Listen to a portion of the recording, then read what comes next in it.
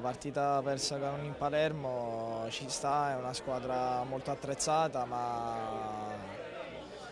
sicuramente questa settimana ci siamo allenati eh, per uh, migliorare ancora di più. Il mister uh, ha tanta fiducia in me, era, dovevo solo aspettare il momento e l'ho ripagato sul campo, adesso con il lavoro sicuramente arriverà anche